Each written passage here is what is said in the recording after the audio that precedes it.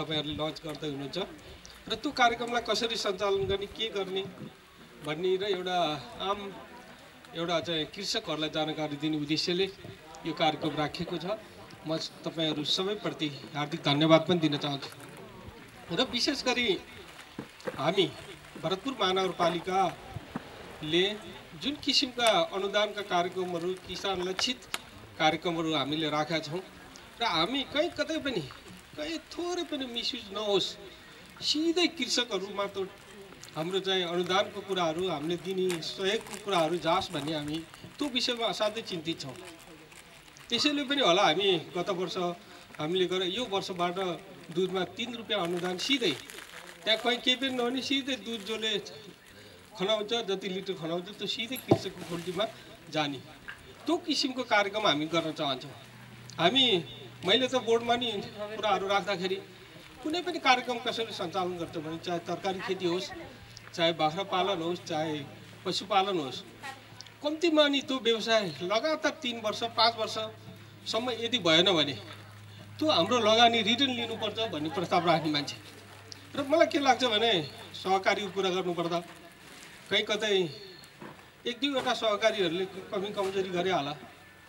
तर वास्तवमा सहकारी यस्तो छ टोल टोल घर घरमा पुगेको एउटा ठुलो सञ्जाल ठुलो जनसङ्ख्या यसमा सहभागी छ। र भरतपुर महानगरपालिकाका लक्षित कार्यक्रमहरू पनि म त सहकारी मार्फतै गरौँ भन्ने पनि मान्छे किनभने अझ त्यसमा तपाईँको पारदर्शिता हुन्छ अझ राम्रो चाहिँ सित काम हुन्छ भन्ने मलाई लाग्छ। त्यसो भएको हुँदा जबसम्म हामी सहकारीलाई माथि उठाउँदैनौँ जबसम्म सिधै कृषकको ठाउँमा हामी पुग्न सक्दैनौँ। तबसम्म यो विकास समृद्धि भन्ने यो गफको मात्र कुरा हो भन्ने मलाई लाग्छ। त्यसो भए अहिले के छ भने जसरी भरतपुर महानगरपालिकाले जुन किसिमको विकास निर्माण पूर्वाधारको क्षेत्रमा एउटा अग्रगतिमा हिँडेको छ म एकदम आत्मविश्वासको साथ भन्न चाहन्छु कुनै पनि महानगरपालिकाले यो किसिमको रफ्तारमा विकास लगेकै छैन। म पोखरा घुमेँ काठमाडौँका हेरेँ विराटनगर हेरेँ धेरै महानगरपालिका हेरेँ। पोखरा हेर्नुहोस् त्यही बस पार्कको बिजोग छ। तर हामी त यो यस्तो किसिमले विकास गरिरहेछौँ। योभन्दा हामी आउनुभन्दा अगाडि के भएको थियो होला बजेट कहाँ गएको थियो होला जस्तो पनि अहिले लागिरहेछ। अहिले सात नम्बरै कुरा गर्ने भने कुनै पनि मुख्य सडकहरू कुनै बाँकी छैन। अब नयाँ कामहरू हामी गल्ली गल्ली हामी चाहे तपाईँ टायर लाउने र कहाँ समस्या त्यहीँ त्यसो भए दुई चार वर्षमा यी कामहरू विकास निर्माणका काम सिद्धिन्छ। मैले भन्न खोजेको कुरो के हो भने अब सहकारीलाई कसरी अगाडि बढाउने? कृषकहरूलाई कसरी प्रोत्साहन गर्ने? उत्पादन राम्रो उत्पादन कसरी गर्ने? हामी दैनिक हामी बिच मात्रै खाइरहेछौँ बिच मात्रै खाइरहेछौँ बिच छरे हौँ हत्तै गरेर एउटा व्यावसायिक रूपमा चाहिँ बिक्री वितरण कसरी नाफा कमाउने मात्रै छ। त्यो स्वास्थ्यकर के हो स्वास्थ्य खाना के हो तरकारीमा चाहिँ स्वास्थ्य रहित एउटा चाहिँ विषादी रहित कसरी उत्पादन गर्ने? यो तरिकाबाट हामी अगाडि बढ्नुपर्छ। त्यो उत्पादनको क्षेत्रलाई हामीले पहिलाउनुपर्छ र हाम्रो ठुलो बजेट सहकारी शिक्षा र स्वास्थ्यमा हामीले लगानी गर्नुपर्छ। अब महानगर त्यो किसिमले अगाडि बढ्छ जस्तो मलाई लाग्छ। त्यसैले पनि हामी अहिले महानगरपालिकामा वास्तवमा हामी सहकारी क्षेत्रलाई चाहिँ हामी हेरिरहेछौँ र म अस्ति सहकारी कार्यक्रममा नि भने मैले सहकारी भरतपुर महानगरपालिकाको सहकारीहरूले हामीले कहीँ कतै पनि त तपाईँको चाहिँ गलत ठाउँमा हामीले लगानी गर्ने त्यो जिम्मा हामी लिन सक्छौँ। तर अहिले मैले यहाँ यत्रो कार्यक्रम ल्याउनु भएको यसमा एउटा जनसहभागिता पनि छ हाम्रो कृषक सहभागिता छ सहकारीको सहभागिता छ। अलिकति लगानी भयो भने हामीलाई माया पनि लाग्छ। कहीँ कतै विकास निर्माण काममा यति प्रतिशत भनेर उठाएर गऱ्यो भने त्यहाँ रेखदेख र त्यो तपाईँको चाहिँ इमान्दारसित रेखदाख गर्ने राम्रो काम गर्ने। सिधै पैसा लगानी पनि भएन भने त्यहाँ कहाँबाट भने जस्तो कुराहरू त्यसो हुनाले यसलाई राम्रो बनाउनको लागि अझ म एउटा अनुभव अहिले भन्छु। पहिला त सबै थाहा छ कस्तो हुन्छ हजुरको भने योजना आयो हामी उपभोक्ता समितिले काम गर्छ। त्यो प्लस माइनस जिरो कति मैले यहाँको भन्न खोजेँ होइन। मैले धेरै अनुभव मैले लिएछु।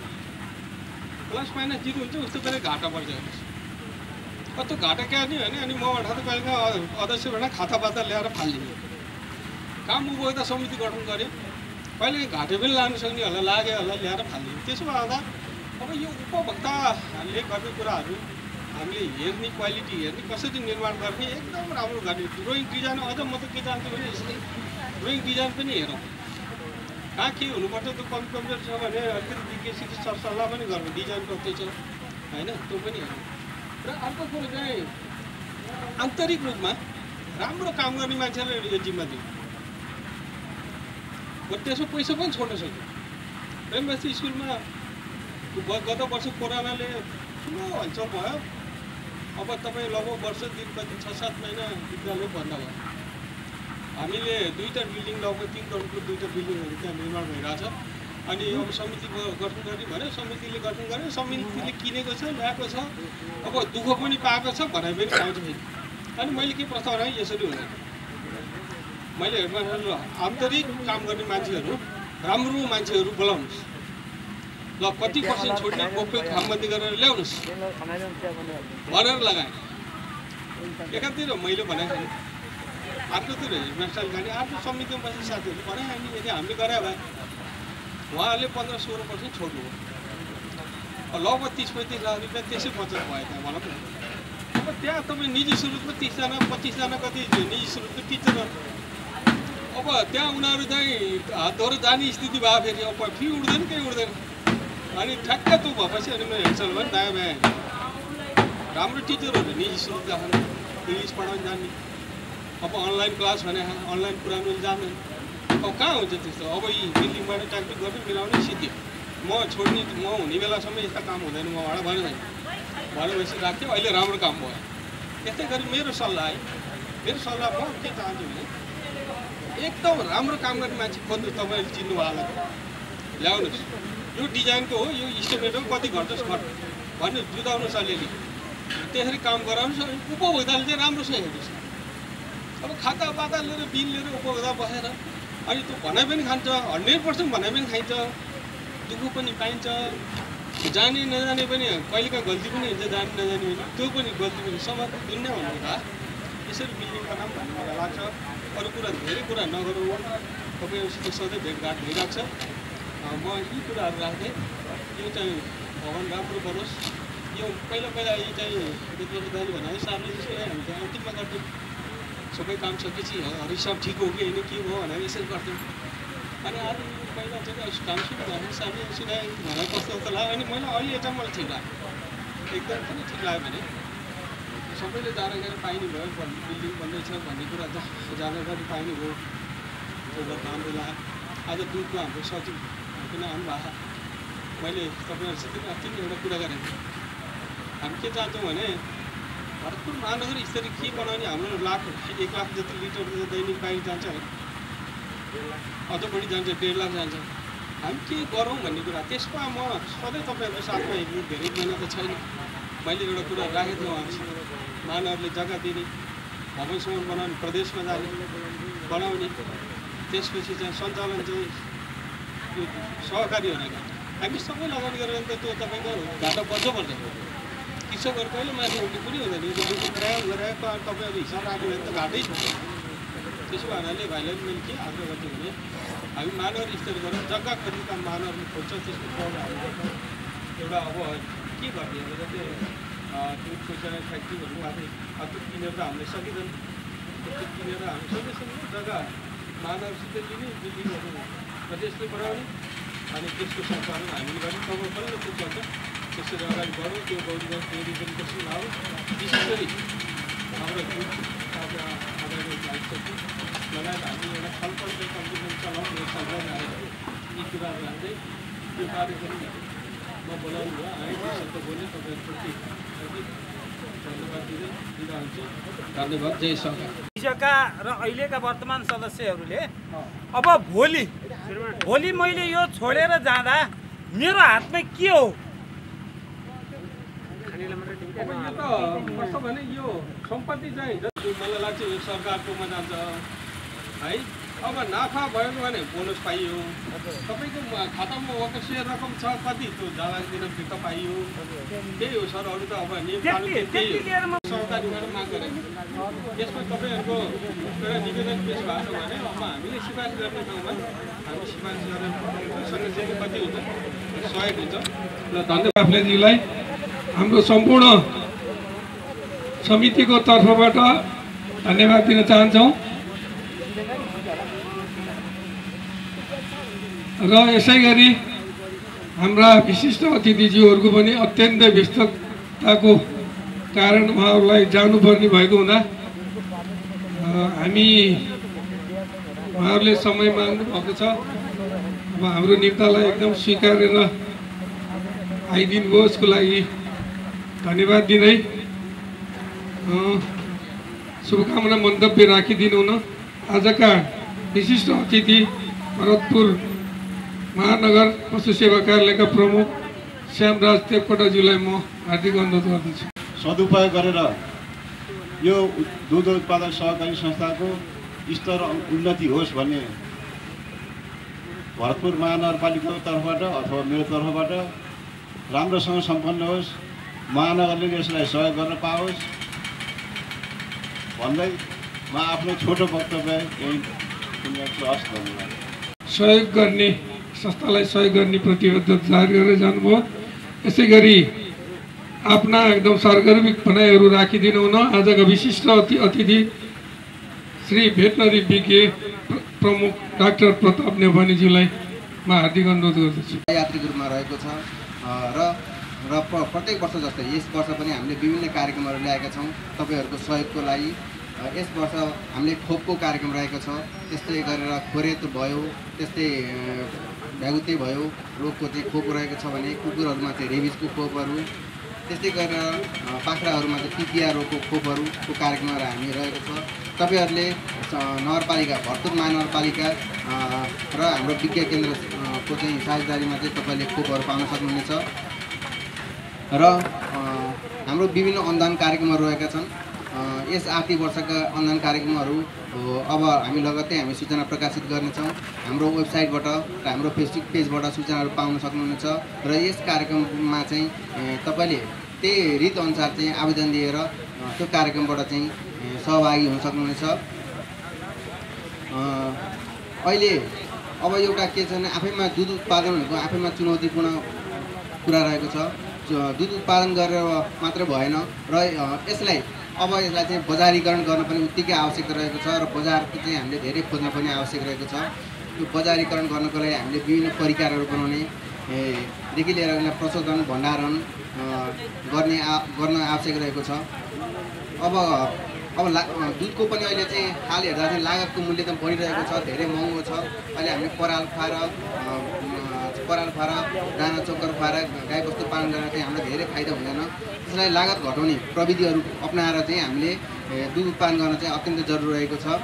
त्यस्तो त्यसरी लागत घटाउनमा चाहिँ यस एनएलएसिपी कार्यक्रम पनि तपाईँलाई सहयोगी हुन्छ भन्ने आशा लिएका छौँ यस एनआरएसपी कार्यक्रम चाहिँ मुख्य रूपमा तिनवटा क्षेत्रलाई चाहिँ यसले चाहिँ मध्यनजर राखेर कार्यक्रम गरेको छ। यसले दुधको उत्पादनको लागि गाई भैँसी त्यस्तै गरेर चाहिँ मासुको लागि चाहिँ बाख्रा त्यस्तै गरेर उनको लागि चाहिँ भेडा भेडाको लागि चाहिँ मध्यनजर गरेर कार्यक्रम रहेको छ। यस दुध उत्पादनमा पनि अझ दुईवटा क्षेत्रमा यसको चाहिँ मुख्य केन्द्रबिन्दु रहेको छ। त्यो दुध उत्पादनमा पनि एउटा चाहिँ उत्पादन बढाउने एउटा दुधलाई प्रशोधन गर्ने र बजारीकरण गर्ने। त्यो यसरी कार्यक्रम रहेको छ। यो कार्यक्रममा तपाईँहरूले सेवा लिएर आफ्नो दुध उत्पादनहरू बढाउनुहुनेछ सेवा लिनुहुनेछ भन्ने हामीले चाहिँ विश्वास लिएका छौँ। यस कार्यको लागि चाहिँ हाम्रो भेटनेरी अस्पताल तथा पशु बिहे केन्द्र चाहिँ तपाईँको हर हालतमा चाहिँ सहयोगी रूपमा रहनेछ। तपाईँहरूलाई आवश्यक परेको खण्डमा हामीहरूलाई हामीहरूले तपाईँलाई प्राविधिकदेखि लिएर आवश्यक अन्य आवश्यक सहयोगहरू पनि गर्नेछौँ भने आफ्नो प्रतिबद्धता जारी गर्दै मेरो यही मन्तव्य यहीँ राख्न चाहन्छु। हस्त धन्यवाद। जिल्ला दुध उत्पादक सहकारी सङ्घका सचिव किशोर बागालेज्यूलाई म हार्दिक अनुरोध गर्दछु। कौतूहलता हुनु स्वाभाविक हो। र अहिले यहाँ केही प्रश्नहरू उठेका छन् र यो कार्यक्रमको मोडालिटीमै म यो संस्था हाम्रो सङ्गठनको एउटा सदस्य संस्था भएको नाताले सल्लाह सुझाव दिनलाई पनि मिल्छ होला जस्तो मलाई लाग्छ। सार्वजनिक सुनाइ कार्यक्रममा हामी के गर्न गइराखेका छौँ के गर्दैछौँ कार्यक्रम कहाँबाट आउँदैछ र यो विषयमा सहभागीहरूलाई स्पष्ट बनाउने यहाँका सामाजिक अगुवाहरूलाई स्पष्ट बनाउने यहाँका विभिन्न सङ्घ संस्थामा आबद्ध व्यक्तित्वहरूलाई स्पष्ट बनाउने र सोही अनुरूप कार्यक्रम गर्ने र भोलि सम्पन्न भइसकिसकेपछि फेरि त्यसको हिजो हामीले भने बमोजिमको कार्यक्रम चाहिँ सम्पन्न गरियो भनेर फेरि हामी यसको सेड्युल अनुसार नै अर्को सार्वजनिक सुनाइ गर्छौँ सम्पन्न गरिसकिसकेपछि। र त्यो हिसाबले जाँदा चाहिँ राम्रो हुन्छ। र यहाँहरूलाई मैले सानो कुरा कोट्याउन चाहन्छु। यहाँका सञ्चालक समितिले भन्ने कुराहरू पनि मैले अलिअलि भन्दा नि केही पनि फरक पर्दैन। म पनि किसान फेरि हाम्रै सदस्य हामी एउटै घर परिवारकै सदस्य हौँ फेरि। त्यस कारणले गर्दाखेरि केही कुराहरू मैले यहाँ यो संस्था यो जुन प्रोजेक्टको विषयमा केही कुराहरू राख्न चाहन्छु। नेपाल सरकारले विश्व ब्याङ्कसँग छ अर्ब पैसा ऋण लिएर नेपालमा दुध पस्किना र मासुमा आत्मनिर्भर बनाउनको लागि विभिन्न किसिमका कार्यक्रमहरू अगाडि सार्ने क्रममा हामी पनि दुध उत्पादनको कार्यक्रममा सहभागी भएका छौँ। त्यो मध्येमा एक करोड सन्तानब्बे लाखको कार्यक्रममा यो संस्थाले हामीले चाहिँ नि कार्यक्रम सञ्चालन गर्न गइराखेको छ। जुन चाहिँ हामीलाई Nepal livestock sector innovation आयोजना छोटकरीमा यहाँलाई साइपी भनेर भन्छौँ र यसलाई मेगा प्रोजेक्ट पनि भनेर भन्ने गर्छौँ हामी। र त्यो संस्था मार्फत हामी एक करोड सन्तानब्बे लाखको कार्यक्रम यहाँ गर्दैछौँ। र हामी केमा काम गर्दैछौँ त भन्दा प्रोसेसिङमा। सायद हामीले जुन त्यो उसमा लेखेका छौँ होला घिउ नुहाउने पनिर प्रडक्सन के के गर्ने भनेर हामीले त्यसका शीर्षकहरू छुट्याएका छौँ। र त्यो विषयमा हामी सायद सञ्चालक समितिका साथीहरू छलफल गऱ्यौँ होला। अरू साथीहरूसित हामीले छलफल गर्ने मौका पनि पाएनौँ होला। त्यो अनुकूलता पनि मिलेन होला। र त्यसै अनुसार नै आज हामी सार्वजनिक सुनाइ गर्न गइराखेका छौँ। तपाईँहरूको संस्थाले एक करोड सन्तानब्बे लाखमा एउटा ठुलो बिल्डिङ बनाएर एउटा उद्योग सञ्चालन गर्न गइराखेको छ। त्यसमा तपाईँहरूको नै लगानी हुन्छ। एक करोड सन्तानब्बे लाखमा आधी तपाईँको आधी एनएलएसआइपीले दिन्छ। त्यो आधी मध्येमा तिस पर्सेन्ट पैसा अहिले सरहरूले भनिसक्नु भएको छ तिस पर्सेन्ट पैसा चाहिँ ग्लोबल आइएमई ब्याङ्कबाट तपाईँहरूले ऋण स्वीकृत गराइसक्नु भएको छ। बिस पर्सेन्ट पैसा चाहिँ तपाईँहरूले आफ्नै पैसा लगाउनुहुन्छ। हुन त त्यो ब्याङ्कको पनि तपाईँकै ऋण हो होइन? र बिस पर्सेन्ट चाहिँ ऋण नलिगे पनि हुन्छ र आफैले लगानी गर्नुपर्छ। तर के भनेको छ भने सहभागी साथीहरू को हुनुहुन्छ? त्यसमा प्रत्यक्ष त्यो बिस पर्सेन्ट पैसा पनि ब्याङ्कमा जम्मा गरिनुपर्छ र काम गर्दै त्यहाँबाट निकालेको रेकर्ड चाहिँ इस्टिमेट चाहिँ कलेक्सन गर्दै त्यो हिसाबले सम्पन्न गर्दै जानुपर्छ भनेर भनिएको छ। र त्यो बिस पर्सेन्ट पैसा पनि ब्याङ्कमा जम्मा गर्नुपर्ने हुन्छ। त्यो हिसाबले हामी कार्यक्रम गइ गर्न गइराखेका छौँ। अघि साथीहरूले भन्दै हुनुहुन्थ्यो हामीले के पाउने? भनेर भन्दै हुनुहुन्थ्यो। हामीले सबैजना मिलेर राम्रोसँग यो उद्योगलाई सफल बनाउने दुधको पैसालाई चाहिँ विभिन्न बाई प्रडक्ट बनाएर अझ बढीमा बेचेर त्यसबाट बढी मुनाफा लिने संस्थाको उद्देश्य त्यो पचास रुपियाँको दुधलाई असी रुपियाँको दहीमा हामी बेच्छौँ। त्यसरी नै असी रुपियाँमा बेच्ने र त्यहाँबाट आएको मुनाफा तपाईँ हामी सबैजनाले लिने। यो एउटा मैले यसलाई चाहिँ कसरी लिएको छु भनेदेखि यो एउटा अवसर पनि हो चुनौती पनि हो। यो हामीले काम गर्ने उद्योग सञ्चालन गर्ने एउटा अवसर पनि हो। म सिँगै पैसा हालेर हन्ड्रेड पर्सेन्ट पैसा हालेर उद्योग सञ्चालन गरिरहने गर्ने एउटा चाहना राखिराखेको अवस्थामा फिफ्टी पर्सेन्ट कसैले दियो भने त राम्रै कुरा हो फेरि। तर त्यसलाई अब सञ्चालन चाहिँ मैले कसरी गर्ने? एउटा अध्यक्षको मात्रै मुख हेरेर सचिवको मात्रै मुख हेरेर अथवा त्यो सञ्चालक समितिलाई मात्रै चाहिँ सरापेर त यो सम्भावना छैन। सहकारी सिद्धान्तले के भन्छ भने जति हामी सेयर सदस्य साथीहरू छौँ त्यो संस्थाभित्र सबै समान हैसियतका हुन्छौँ। त्यसले गर्दाखेरि फलानु चाहिँ अध्यक्ष ठुलो मान्छे म चाहिँ यो संस्थाको सेयर सदस्य सानो मान्छे त्यसो होइन। आजसम्म यदि हामी कसैले त्यो बुझाएको छौँ भने त्यो होइन। हामी सबैजना समान हैसियतका साथीहरू सहकारीमा सेयर सदस्य हुन्छौँ। त्यो हिसाबले हामी काम गर्छौँ। त्यस कारणले अहिले सेयर सदस्यले पनि यस्तो बोल्ने भन्ने कुराहरू आयो। हामीले संस्थाको हित विपरीत संस्थालाई चाहिँ अहित हुने किसिमका कुराहरू मैले बोलिरहँदा म कुन ठाउँमा छु म कस्तो व्यक्ति हो भन्ने विषयमा हामीले सोच्न पनि जरुरी हुन्छ। त्यस कारणले गर्दाखेरि यो प्रोजेक्टलाई मैले चाहिँ एउटा अवसर र चुनौतीको रूपमा लिएको छु र यो हामीलाई फिफ्टी पर्सेन्ट पैसा कसैले दिने यो हामीले पाएको एउटा अवसर हो र त्यो फिफ्टी पर्सेन्ट पैसालाई चाहिँ कसरी सञ्चालन गरेर अनि बजारमा हामी कसरी जाने बजारमा हाम्रै गौरीगञ्ज डेरी भोलि चाहिँ आउला नि त गौरीगञ्ज डेरीको उत्पादन भनेर आउला। अनि त्यो गौरीगञ्ज डेरीको दुध दही घिउ चाहिँ यो चोक बजारमा चाहिँ बेच्ने चाहिँ फेरि त्यो हाम्रो चुनौती हो। समस्या कहाँनिर हो भने मैले सबै ठाउँमा भन्ने गर्छु हामी उद्योग सञ्चालन गर्नलाई दुध लिएर आउने हो किसान साथीहरूले दुध लिएर आउनुहुन्छ त्यसलाई पेलेर घिउ नुहाउने पनिर बनाउनलाई समस्या केही पनि छैन। तर हामी नेपालीहरूको फुड हेबिट अलिकति फरक छ। हामी यो दुध घिउ नुहाउने भन्दा माछा मासु र दारूतिर बढी अलिकति आकर्षित हुन्छौँ। दुध घिउ नहुनेको चाहिँ हाम्रो सेवन कम छ। हामीले दिउँसोको खाजामा लिएर आउन खान पऱ्यो भनेदेखि सुकुटी मोमो चाउमिन यतैतिर जान्छ। दुधको परिकार यसका मिठाईहरू खिरहरू बनाएर खाने हाम्रो चलन छैन। अनि हामी यहाँ उद्योग चाहिँ सञ्चालन गर्ने।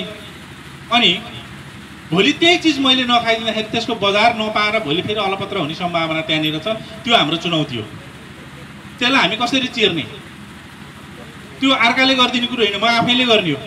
मैले सानो बच्चा छँदाखेरि मैले भोगेको मैले थाहा पाएको। अहिले म यहाँ आएर कुरा गरिसकेपछि हाम्रो अध्यक्षज्यूको र मेरो गाउँ त एकै ठाउँमा रहेछ। अनि फेरि हाम्रो सञ्चालकज्यूको पनि गाउँ एकै हाम्रो त एउटै गाविसमा मान्छे रहेछौँ पुरानो होइन? म बच्चा छँदाखेरि तरकारी पकाउने जुन हामीले अहिले त्यो तेल हाल्ने त्यसलाई भुटुन भन्ने आमाहरूले अब जुन प्रयोग गरिरहनु भएको छ भुटुन हाल्ने भन्थ्यौँ।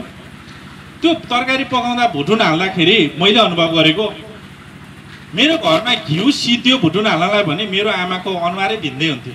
घिउ छैन आज भुटुन हाल्नलाई। तेल हाल्न पऱ्यो भने मेरो आमाको मन नरमाएको। मैले बच्चा छँदा अनुभव गरेको थिएँ। अहिले मेरो आमा तेल भएन भने अनुहार बिग्रिन्छ। मेरो श्रीमतीको घर तेल सिद्धो भने घिउ छ नि? मेरो आफ्नै गाई छ मेरो घरमै दुई तिन सय लिटर दुध त मेरो घरमा उत्पादन हुन्छ अहिले पनि। पैँतिस चालिसवटा गाई पाला मान्छे हो अहिले पनि। म बिहानभरि काम गरेर तपाईँहरू जस्तै खटेर आएको मान्छे हो। तर खाँदैन घिउ हामी फेरि। अनि घिउ नै खाँदिनँ म उत्पादन चाहिँ गरिरहेको छु। अनि बेच्ने चाहिँ कहाँ हुँदैन फेरि। खाइदिने चाहिँ कसले? म नि खान्न पल्लोहरूकोले पनि खाँदैन। अनि त्यस कारणले गर्दाखेरि यो काम गर्ने जुन पैसा आएको छ एउटा अवसर हो। मैले खान्न यो समाजलाई खाने बनाउने मेरो चुनौती हो फेरि। अब त्यसलाई तपाईँ हामी कसरी अगाडि बढ्ने? त्यहाँनिर हाम्रो कुरा अब यसलाई कसरी परिवर्तन गर्ने? म आफैले परिवर्तन गर्ने हो कि? हिजो मैले बच्चा छँदाखेरि गाउँमा भोगेको झिँडो खाँदा पाहुना आयो भने लुकेर खाइन्थ्यो। लुकाएर खाइन्थ्यो त्यो कसौडी नै भिन्दै ठाउँमा राखिन्थ्यो। अहिले हामी दुम्कीबास पुगेर ढिँडो खाएर आएको भनेर यो चोकमा गफ लाउँछौँ फेरि मजै लाग्छ फेरि। अनि परिवर्तन चाहिँ कसले गरे रहेछ त भने फेरि? हामीले नै हो नि त। हिजो ढिँडो लुकाएर खाने मान्छे हामी। आज ढिँडो खायो भनेर फुर्ती लाउँछौँ फेरि। यो लिएर त हामीले नै हो नि त। भनेपछि अब दुध घिउ नुहाउने पनिर खाएर यो समाजलाई एउटा विवाहमा चाँडा खसी काट्नुको सट्टा बिस किलो पनिर पकाउने चाहिँ बनाउने चाहिँ कसले हो त नि? यहाँको मियारले दक्षले मैले हो कि? मेरो छोरीको बिहामा बिस किलो पनिर पकाउनु त मैले हो नि बाबा। अनि अरूको मुख ताकेर यो समाज परिवर्तन गर्छु भनेर सम्भावना छ। मलाई परिवर्तन गर्नलाई बजेट चाहिन्छ पैसा चाहिन्छ। मेरो ह्याबिट मेरो चाहिँ आचरण मलाई सुगर सफा बन्नलाई पैसा चाहिन्छ। भनेको त्यो सबै काम गर्नलाई विकास निर्माण कामलाई पैसा चाहिँदैन अब तपाईँले पैसा पाउनु भएको छ घर बनाउनु ठुलो कुरो होइन। घर बनाउने मानसिकता बनाउनु सबभन्दा ठुलो कुरा हो। घर त बन्छ साथीहरूले समिति बनाइसक्नु भएको छ त्यो समितिले काम गर्छ। त्यो दुईजना थप्दा नि हुन्छ घटाउँदा नि हुन्छ केही पनि फरक पर्दैन। एकजनालाई जिम्मा हामी एक घन्टा घर बनायो होइन राफाउनु घर कसले कसले समिति बनाएर बनायो। किनहुन म यस उप आयोजनाको बारेमा उप आयोजना ल्याउन अहम भूमिका खेल्ने हाम्रो यस संस्थाका सल्लाहकार एवं नेकपा माओवादी केन्द्रका अध्यक्ष श्री विष्णु वास्तुलाज्यूलाई म हार्दिक अनुरोध गर्दछु विडम्बना के छ भन्दा? आज सधैँ साउन महिनामा हुने अडिटहरू अब करिब करिब कार्तिकमा हुने गरेका छन्। सारसभाको त अब कुरै आइसकेका छैन। र अझ हामी फेरि मैले यसो गरेँ उसो गरेँ भनेर गफ गर्न छोड्दै छोड्दैनौँ। हामी धेरै नै गफ गरेको कारणबाट पनि संस्था संस्थागत रूपबाट अगाडि बढेको छैन भन्ने मेरो निष्कर्ष छ। वास्तवमा भन्यो भने। एउटा यसले गर्छ कि भनेर राख्यो? ल यसले त गर्ला है भनेर राख्यो। अनि त्यहाँबाट त्यो राम्रोसँग मोबिलाइजेसन भएको छैन। कता कता आज दुई करोडको संस्था अब हामी उपायोजना सञ्चालन गर्न थालेका छौँ। यो बारेमा मलाई त हिसाब किताब राख्नुपर्छ मैले अहिले सल्लाह गरिसकेको छु। यो उपायोजनाको एउटा समिति बनाएर समिति मार्फत चाहिँ हिसाब किताब चाहिँ फाइनल गर्नुपर्छ भन्ने मेरो धारणा छ हेर्नुहोस्। यदि त्यो गरिएन भने अहिले मैले भर्खरै सुने। हाम्रो प्रदेशबाट लिएको एक रुपियाँ अनुदानको पनि कागज हामीले चाहिँ बारम्बार ताकेता गर्दाखेरि हामीले संस्थामा के अरे सम्बन्धित ठाउँमा पुर्याउन सकेका छैनौँ। अब यस्तो तालले चाहिँ हामी संस्था चलाएर तिस वर्ष संस्था चलाएर हामी कहाँको चाहिँ अब गर्वले चाहिँ गा गर्दनहरू फुलाएर हिँड्ने अवस्था छ हाम्रो? अब हामी हेर्नुहोस् त यो युवा जब कि अब हामी प्रशोधनमा जाँदैछौँ। प्रशोधनमा जाने भनेको कुरा न त जोग अहिले दुध भरेर दुध बेच्दाखेरि त हामी चाहिँ हिसाब किताब राख्दैनौँ भने यहाँबाट त दुध प्रशोधन गर्नु पऱ्यो यो पनिर कति बनाउने हो त्यो के अरे मिठाईहरू कति बनाउने हो अनि नौनी कति निकाल्ने हो घिउ कति बनाउने हो करिब करिब हामीले बिस बिसवटा आइटमहरू बनाउँछौँ र हामीलाई यस्ता यो करिब करिब सयौँ चाहिँ विक्रेताहरूलाई हामी बेच्छौँ। कसले राख्ने हो हिसाब किताब? म आज अलि कता कता अन्नोल अन्नोल यो चाहिँ गर्नुपर्छ त भन्यो। कता कता अन्नोल अन्नोल भएको अवस्था छ। वास्तवमा म यो उपायोजनाको एउटा सेट बनाएर अगाडि बढ्नुपर्छ भन्ने धारणा चाहिँ यहाँ राख्न चाहन्छु। किनभने हामीले अब गर्नै खोज्यौँ। गर्ने भइसकेपछि अरू जे जे भए पनि अब कमसेकम हामीले त्यहाँबाट जम्मा भएको दुध चाहिँ यहाँ इन्ट्री गर्ने कति दुध इन्ट्री भयो। र यो उपायोजना सञ्चालन चाहिँ छुट्टै किसिमबाट गर्ने। प्रफिट चाहिँ अब यहाँ संस्थाले चाहिँ दुधको जसरी नाफा हुन्छ त्यहीँ त दिन सकिने भयो। तर हामीले धेरै सोच्नुपर्ने अवस्था छ किनभने अहिलेसम्म त घाटा त छैन नि त।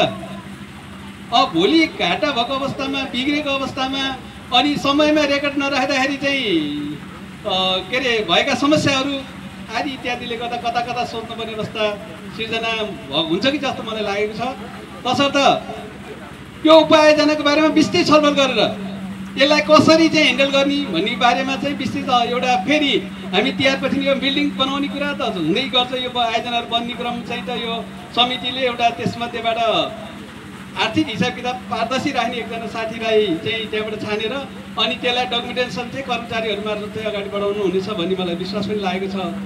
र उपायोजना कसरी सञ्चालन गर्ने त सम्पन्न भइसकेपछि कसरी सञ्चालन गर्ने भन्ने बारेमा एउटा मोडालिटी बनाएर अगाडि बढ्नुपर्ने जरुरत मैले देखेको छु जसले गर्दा हामीले कमसेकम यसको यो उपायोजना यो संस्था जस्तै गरेर चल्यो भने चाहिँ हामी धराशय हुने अवस्था मैले देखेको कारणबाट पनि तिहारपछि लगतै म अध्यक्षज्यूसँग फेरि बस्नु धेरै बस्नु खोजेको थिएँ किनभने यहाँ धेरै कुराहरू आएका छन्। त्यो म चोक चाहिँ अलि आधिकारिक आधिकारिक कुराहरू नभइकन कुराहरू नगर्ने कारणबाट पनि अस्ति भर्खरै भर्खरै नाफा बढी देखायो अरे भर्खरै कम देखायो अरे भनेर चाहिँ ती धेरै कुराहरू आएका छन्। म सम्बन्धित अध्यक्षज्यूलाई त्यो हतार नगरिकन एक दिन बरु अझ अलि समय लिएर नै शनिबारको दिन पारेर कमसेकम सिलेक्टेड साथीहरूलाई चाहिँ राखेर हामी यो उपायोजनाको बारेमा अनि त्यहाँबाट संस्थालाई संस्थागत किसिमबाट लान सक्ने नसक्ने बारेमा यो बारेमा विस्तृत छलफल गर्नको लागि त्यो वातावरण बनाउनको लागि पनि म हार्दिक अनुरोध गर्दै यो सार्वजनिक सुनाइ वास्तवमा चाहिँ सार्वजनिक सुनाइको बारेमा डिटेलमा चाहिँ हामीले चाहिँ एउटा प्रस्तुता हुन्छ नि हाम्रो सञ्चालकहरूबाट। डिटेलमा हामी यो आयोजनाबाट यति पैसा आउँछ यो यसो गर्दैछौँ हामीले यस्तो यस्तो सामानहरू बेच्दैछौँ। वर्षमा हामी यतिको चाहिँ सामान बेच्छौँ यतिबाट यति पैसा आम्दानी गर्ने हाम्रो लक्ष्य रहेको छ भन्ने कि बात भनौँ न यो हामीले पेस गरेका सबै कुराहरू भनिसकेपछि यहाँ सहभागीहरूले त्यसबारेमा अलि अस्पष्ट भएका चिजहरू चाहिँ फेरि सोध्ने गर्ने सकेको संस्थाले एउटा जमर्को गरेको छ। यो योभन्दा अगाडि कार्यकालमा चाहिँ मैले अघि नै भने अन्यथा नना नमान्नु होला कुनै पनि पूर्व समिति सदस्य अध्यक्ष कसैले पनि। यो निरन्तरता कुरा हुन् एउटा भोटो सिलाउने सुट सिलाउँछ कि आफै ठुलो भएपछि। हाम्रो संस्थाले अब आफू सुट सिलाउनु पर्छ भन्नेमा लागेको छ। तर त्यो सुट कस्तो कपडाको चाहिँ किन्दा ठिक हुन्छ? कस्तो कपडा सुइटेबल हुन्छ? कसलाई कस्तो सुहाउँछ? ठाउँअनुसार मान्छेअनुसार त्यो हामी सञ्चालकहरू अथवा चाहिँ सल्लाहकारज्यूहरूले सोच विचार गर्ने कुरा त्यहाँनिर मात्रै हो। किनभने त्यसलाई बढाउन चढाउन जम्मै गरेर हामीले निरन्तर लागिरहौँ केही गर्न सकेनौँ गर्नै पर्छ भनिरहेका थियौँ र अब अहिले योजना पनि पऱ्यो बनाउनु पनि सुरु गऱ्यौँ यो कुरामा यति लामो भाषण गर्नुपर्ने अघि एकजनाले भनेर छाड्नुभयो मलाई चाहिँ एकदम सान्दर्भिक लाग्यो सार्वजनिक सूचनाको।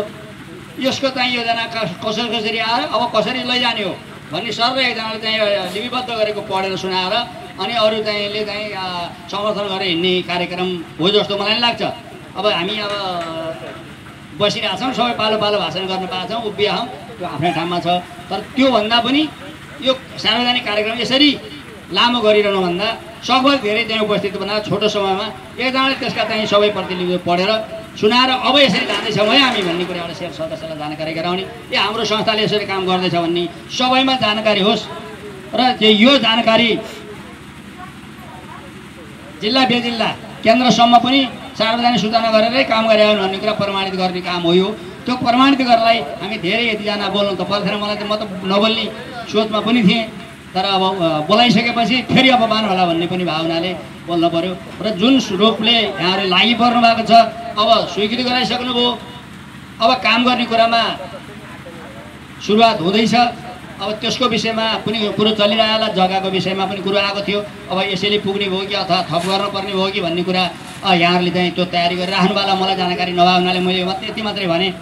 त्यसो भए यसलाई अगाडि बढाउने क्रममा हामी सबैले जसले जति जानेका छौँ जसले जति बुझेका छौँ बिग्रिने थाल्यो भने नबिग्रिँदै आएर सुझाव र सल्लाह दिएर यसलाई सकारात्मक रूपले अगाडि बढाएर बढाएर लानुपर्छ भन्ने आशाका साथ यहाँहरू सबै विज्ञ हुनुहुन्छ। त्यसलाई हामीले मध्यनजर राख्दै हामी सबै एक भएर यो संस्था जमानी भएको संस्थालाई अब बिग्रिन नदिउँ भन्ने कुरा यहाँहरूसँग अनुरोध गर्दै नजिकै आएको दीपावली छठ पर्व लगायतका चाडपर्वहरूको चाहिँ शुभकामना टक्राउँदै मेरा भनाइहरू यहीँ अन्त्य गर्छु। अर्थ धन्यवाद कामना मन्तव्य राखिदिनु हुन म आजका अतिथि यस भरतपुर वडा नम्बर आठका वडा सदस्य सल्लाहकार र नेकपा एमालेका वडा अध्यक्ष श्री तिलक दर्लामीज्यूलाई म हार्दिक अनुरोध आजको यो सार्वजनिक कार्यक्रम धेरै लामो भएको छ यति लामो गर्नुपर्ने थिएन। यो आजको सार्वजनिक कार्यक्रममा यो हाम्रो यो उप अ, उप आयोजना यो दुध प्रशोधन तथा विविधीकरण उप आयो उप आयोजना हामीलाई यो संस्थालाई परेको छ। यो संस्थालाई कहाँबाट यो पऱ्यो कति चाहिँ रकम आउँछ हामी चाहिँ कति रकम बिहोर्नुपर्छ यो कसरी कामहरू हामी चाहिँ सम्पन्न गर्छौँ। र यसबाट हामीले के फाइदा लि के अरे पाउन सकिन्छ भन्ने विषयमा छोटकरीमा अवगत गराएर नै यो समापन गरिदिएको भए पनि हुन्थ्यो। र हामीलाई सबैलाई जानकारी भयो। र हाम्रो यो उपशाखालाई यो यो यो उप आयोजनालाई दुध प्रशोधन गर्ने र त्यस त्यसबाट विविधीकरण अ, अब जस्तै घिउ खुवा पनिर लगायत दुधजन्य पदार्थहरू उत्पादन गर्ने र त्यसको निमित्त हाम्रो नेपाल सरकार कृषि तथा पशुपन्छी मन्त्रालय एनएल एनएलएसआईबाट नेपाल अ, लाइभ स्टक सेक्टर इनोभेसन आयोजनाले विश्व ब्याङ्कबाट छ अरब रुपियाँ ऋण लिएर नेपालका विभिन्न ठाउँहरूमा र यो प्रदेशका विभिन्न ठाउँहरूमा यो दुध त्यसपछि मासु र उन उत्पादन उत्पादनको निमित्त सहयोग गर्नको निमित्त चाहिँ यो यो हाम्रो आयोजना पनि त्यस अन्तर्गत पर्ने भएको हुन्छ। यो आयोजनालाई हामीलाई लगभग सन्तानब्बे लाख कति जति चाहिँ रकम हामीलाई अनुदानको रूपमा पाउ पाउन सकिएको कुरा हामीलाई जानकारी भयो। र यसै गरी हाम्रो आयोजनाले पनि तिस प्रतिशत चाहिँ ऋण सहयोग लिएर बिस प्रतिशत चाहिँ हाम्रो आफ्नै के संस्थाले चाहिँ नगद जम्मा गरेर अथवा कुनै पनि स्रोत जुटाएर चाहिँ चाहिँ यो आयोजना सम्पन्न गर्ने गरी एक लाख सन्तानब्बे हजार एक करोड सन्तानब्बे लाख अ, को चाहिँ योजनामा यो चाहिँ कार्यक्रम सम्पन्न गर्ने र त्यसको निमित्त उनपचास लाख रुपियाँ चाहिँ भवन निर्माणको निमित्त एक लाख छत्तिस हजार रुपियाँ मेसिनरी खरिदको निमित्त र दस लाख जति चाहिँ यो सोस ट्याङ्कीको स्थापनाको निमित्त खर्च गर्ने कुरा हामीलाई जानकारी भयो। र यसै अनुसार यो कार्यको निमित्त सातजनाको चाहिँ एउटा कार्य समिति गर्नुभएको पनि हामीलाई अवगत भयो। र त्यो सातजना कार्य समितिले मात्र पुरा नहुने र केही स केही त्यो- त्यसमा चाहिँ समितिका सदस्यहरू आवश्यकता हेरेर थप गर्न पर्ने पनि सुझावहरू आयो। र यसै गरी हामी पनि हामी पनि म पनि त्यही नै सुझाव दिन चाहन्छु। र यसै गरी यो एउटा मात्रै उपसमिति गठन भएको रहेछ यसै गरी यो चाहिँ मेसिनरी खरिद गर्ने उपसमिति पनि गठन गर्नुपर्ने होला। र अन्य अघि नै अब नेकपा माओवादी केन्द्रका चाहिँ अध्यक्षज्यूले पनि भनेर जानुभयो र यसपछि यो आयोजना सम्पन्न भइसकेपछि यसलाई कसरी चाहिँ चाहिँ अगाडि लाने भन्ने सम्बन्धमा पनि चाहिँ विच- विचार गर्नुपर्ने होला र अघि नै हाम्रो विशिष्ट अतिथि जिल्ला दुग्ध उत्पादक सहकारी सङ्घका सचिवज्यूले पनि धेरै कुराहरू भनेर जानुभयो। यो हाम्रो लागि एउटा अवसरको निमित्त पनि छ र चुनौतीको निमित्त पनि छ। अवसर यो अवस्था यो चाहिँ कारणले छ किनभने हामीले हाम्रो दुध उत्पादक उत्पादक सहकारी संस्था तिस वर्षको अवधि भइसक्दा पनि हामीले केही गर्न सकेका थिएनौँ। हामीले केही गरौँ गरौँ भनिरह भनिरहँदा लगभग आधा प्रतिशत फिफ्टी पर्सेन्ट चाहिँ हामीले अनुदान पाएर फिफ्टी पर्सेन्ट हालेर काम गर्दा यो हामीलाई अवसर थियो अवसर छ।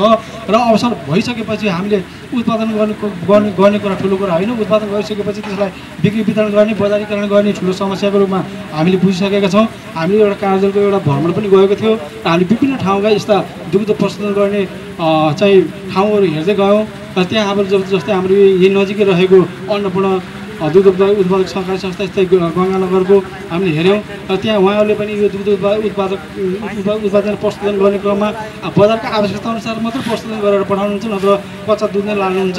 र के हाम्रो उपभोक्ता हाम्रो शिर सदस्यहरूबाट पनि केही प्रश्नहरू आए अतिथि अतिथिज्यूहरूले जुन यो कार्य समितिलाई दिनुभएको सुझाव सल्लाह अनुसार यो समिति अगाडि बढ्नेछ र एउटा उपभोक्ता समितिले मात्रै यो निर्माण कार्य सम्पन्न गर्न सक्ने छैन र हामीले तपाईँहरूको सुझाव सल्लाह अनुसार हामीले भवन निर्माणको सल्लाहकार समिति अनुगमन समिति हामीले गठन गर्नेछौँ र यहाँहरूबाट संस्थाले पूर्ण रूपमा सहयोगको अपेक्षा गर्नेछ भन्दै र आजको यस कार्यक्रम सञ्चालन गर्ने क्रममा तलमाथि भएको भए क्षमा याचना गर्दै नजिकै आएको दीपावली छठ पर्वको उपलक्ष्यमा सम्पूर्ण गौरीगञ्ज दुध उत्पादक सहकारी संस्थाका शेर सदस्य र निजहरूका परिवार लगायत सम्पूर्ण दाजुभाइ दिदीबहिनीहरूमा शुभकामना व्यक्त गर्दै आजको यस आजको यस सार्वजनिक चुनावी कार्यक्रममा उठेका विषयहरूको लाई सभा विसर्जन गरिदिनु हुन आजका सभापति श्री रामकुमार श्रेष्ठज्यूलाई म हार्दिक अनुरोध गर्दै म बिदा हुन्छु। हस् धन्यवाद। एउटा खरी समिति भनेर पाँचजना समिति एउटा खरी समिति बनाउँदैछौँ त्यसपछि अर्को एउटा मिनी भेराइटी चाहिँ हामी यो अनुगमन समिति र यो सल्लाहकार समिति अनि यो बजार व्यवस्थापन समिति भनेर पाँचवटा जति अर्को समिति बनाउँदैछौँ मिनी भेला गरेर। र अहिले चाहिँ मैले मसँग ठोकेको एउटा कति प्रसङ्ग आएन अरू त सबै साहित्यले भनिसक्नु भयो। हामीले भदौको पन्ध्र गते नै साधारण सभा गर्ने हिसाब किताब तयारी गर भनेर बारम्बार व्यवस्थापकलाई हामीले उनीहरूलाई बारम्बार राख्यौँ त्यो बेला पनि गर्न सक्नु भएन। त्यसपछि कहिले चोकरको हिसाब नमिल्ने कहिले घिउको हिसाब नमिल्ने कहिले के नमिल्ने त्यो कारण हुँदा हुँदै पछि पछि आइपुग्यो। यसमा पनि अहिले आएर हामीले यो सत्ताइस गतिलाई राख्ने भनेको कार्यक्रम पनि अझै पनि सर्न पर्ने हो कि भन्ने कुरो हामीले बुझिरहेका छौँ। किनभने हाम्रो देशको परिस्थिति विभिन्न राजनीतिक दलहरूको अनेक अनेक कार्यक्रमले गर्दा नै यो साधारण सभा माथि गइरहेको छ। छ गते राख्ने भनेको हामीले साधारण सभामा हाम्रो रवि किरणसँग जुझ्न गएर त्यो बेला पनि राख्न सक्थ्यौँ फेसबुकमा त हालिदिएको जस्तो लागेको थियो त्यसमा। मेरो छ महिने कार्यकाल चाहिँ मेरो यसै रह्यो। अबको कार्यकालमा चाहिँ मैले साथीहरूलाई यो लेखा सम्बन्धीको विश्वस्त दिलाउन चाहन्छु।